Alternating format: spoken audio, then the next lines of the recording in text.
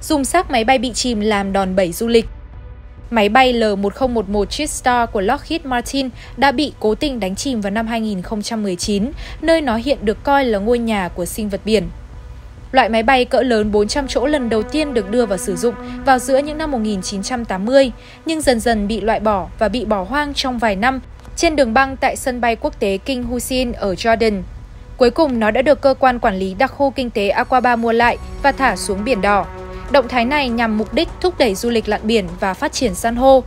Rất nhiều thợ lặn tìm kiếm chiếc máy bay bị bắn rơi để khám phá dạng san hô nhân tạo và nội thất bị tàn phá của nó.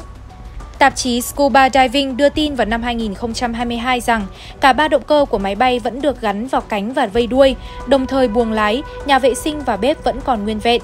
Nhiếp ảnh gia dưới nước Brett Hodger đã quay phim chính mình đang khám phá đống đổ nát và chia sẻ cảnh quay bên trong chiếc máy bay. Theo những người du khách lặn xuống đây, buồng lái là phần nông nhất của xác tàu và hướng ra bãi biển ở độ cao khoảng 13 mét.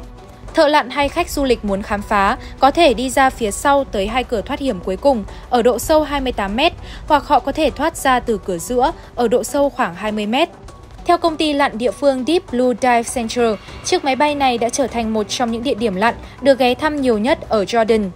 Nhưng xác tàu cũng gây tranh cãi sau khi một bài đăng trên mạng xã hội hiện đã bị xóa, được lan truyền vào năm ngoái sau khi có suy đoán rằng đó thực chất là chuyến bay 370 của Malaysia Airlines MH370 đã biến mất vào năm 2014.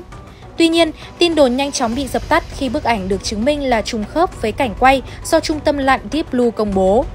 Lockheed L1011 G-Star hay còn được gọi đơn giản là L1011 hoặc G-Star là loại máy bay thân rộng 3 động cơ, một tầng, hai cửa ra của hãng Lockheed Corporation của Hoa Kỳ. Đây là loại máy bay thân rộng thứ ba trong lịch sử đi vào hoạt động thương mại sau Boeing 747 và McDonnell Douglas TC-10.